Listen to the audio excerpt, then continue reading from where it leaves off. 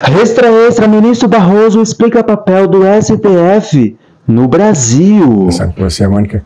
A primeira coisa, o, o judiciário brasileiro, evidentemente, não é ativista, pelo menos no sentido técnico do termo ativista, que é você é que assim, o termo ativismo Uau. pode ter uma acepção técnica ou uma acepção negativa e pejorativa. A acepção negativa e pejorativa é do exercício impróprio do poder judiciário se em áreas que não são suas.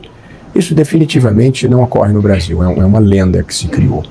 Mas o Poder Judiciário no Brasil, e o Supremo Tribunal Federal em especial, tem um papel um pouco diferenciado em contraste com o judiciário e, sobretudo, com as cortes constitucionais e supremas cortes de outras partes do mundo. Mano.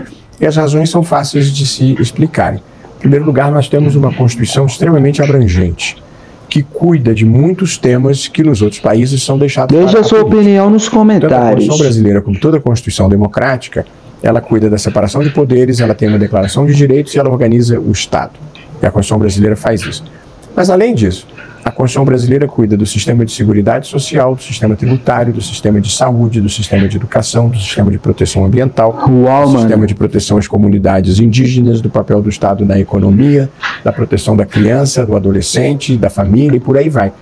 O, o, e você tendo uma Constituição Preste atenção. Assim, quando você traz uma matéria para a Constituição, de certa forma, você a retirou da política e trouxe para o direito. Portanto, no Brasil, muitos temas que em outras partes do mundo são questões para discricionariedade do Congresso, no Brasil foram trazidas para a razão pública da interpretação constitucional pelo Olha só. Judiciário em geral. Essa é a principal explicação para um certo protagonismo do Supremo Tribunal Federal.